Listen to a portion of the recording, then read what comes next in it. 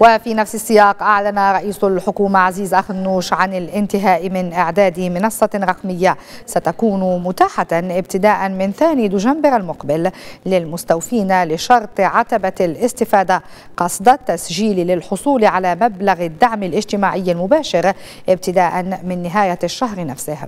وقال أخنوش في مستهل مجلس الحكومة تم الانتهاء من إعداد منصة رقمية ستكون متاحة للمواطنين بحيث يمكن ابتداء من ثاني دجنبر للراغبين في الاستفادة من الدعم الاجتماعي المباشر والمستوفين لشرط عتبة الاستفادة. التسجيل في هذه المنصة من أجل الحصول على مبلغ الدعم ابتداء من نهاية شهر دجنبر.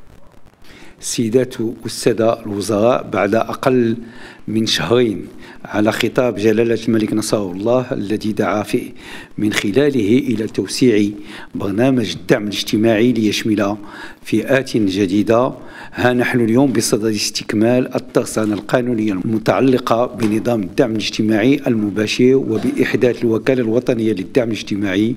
من خلال التداول بخصوص مجموعة من المراسم المتعلقة بتطبيق القانون الصادر في شأن نظام الدعم الاجتماعي المباشر وبتحديد عتبة الاستفادة من هذا الدعم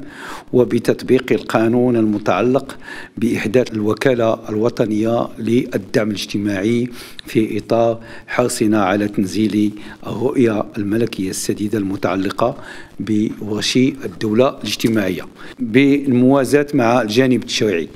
عكفت الحكومة على إعداد الإطار العملي والميزانياتي لهذا البرنامج